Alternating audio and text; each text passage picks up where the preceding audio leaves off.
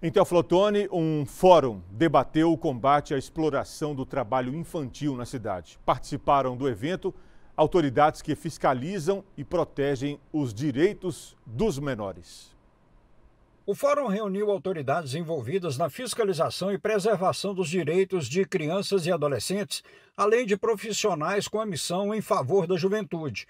O procurador do Ministério Público do Trabalho, Olaf, diz que no Brasil jovens acima de 14 anos podem trabalhar de forma legal. A Constituição da República, né, que trata dos direitos fundamentais das crianças e dos adolescentes, admite que o trabalho como aprendiz ocorra a partir dos 14 anos. O trabalho, no geral, é proibido para os menores de 16 anos, mas como forma de promover o direito à profissionalização e inserir o menor e a criança e o adolescente no mercado de trabalho de forma protegida, se admite a aprendizagem a partir dessa idade. Segundo o procurador Olaf é possível harmonizar interesses de empregadores e direito de menores no mercado de trabalho. O município nunca vai poder relativizar ou flexibilizar o que está previsto na Constituição da República.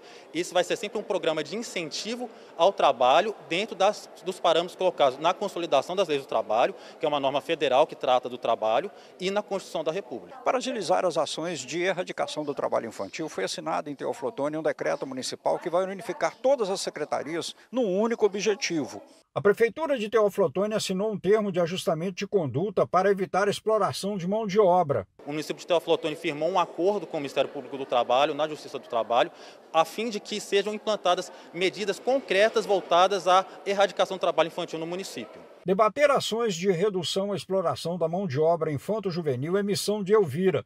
Coordenadora do Fórum Mineiro do tema, ela diz ser importante envolvimento de todos os níveis da gestão pública nesse sentido. Cabe ao município implementar essas ações, né? E a gente teve aqui hoje uma fala muito produtiva e muito interessante do prefeito Sucupira, né?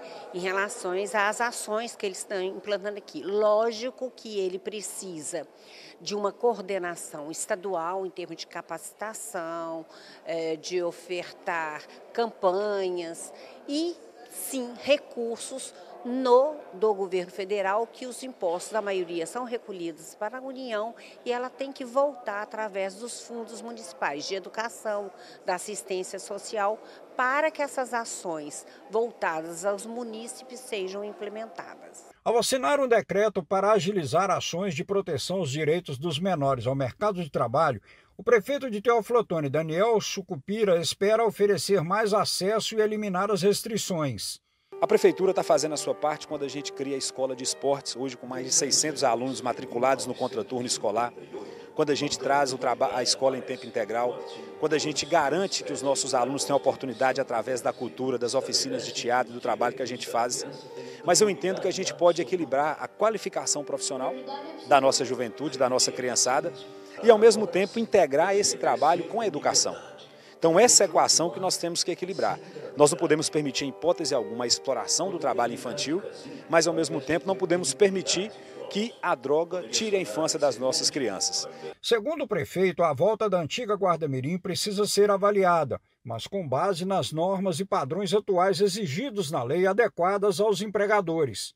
Temos aqui grandes quadros técnicos, políticos, administrativos, professores, profissionais que passaram pela guardinha junto comigo. Eu fui guarda-mirim dos meus 14 a 18 anos e a guarda-mirim não fez nada de mal para mim, só fez o bem. Nos anos anteriores, a diretriz do Ministério do Trabalho, que infelizmente nós perdemos o Ministério do Trabalho aqui em Teoflotone, era gerência, passou a ser uma agência. Nós estamos buscando retomar esse, essa, esse tempo perdido no fortalecimento do Ministério do Trabalho, para que juntos com o Ministério a gente possa criar uma alternativa que possa ser melhor do que o trabalho e as possibilidades que são abertas pelo programa Menor Aprendiz.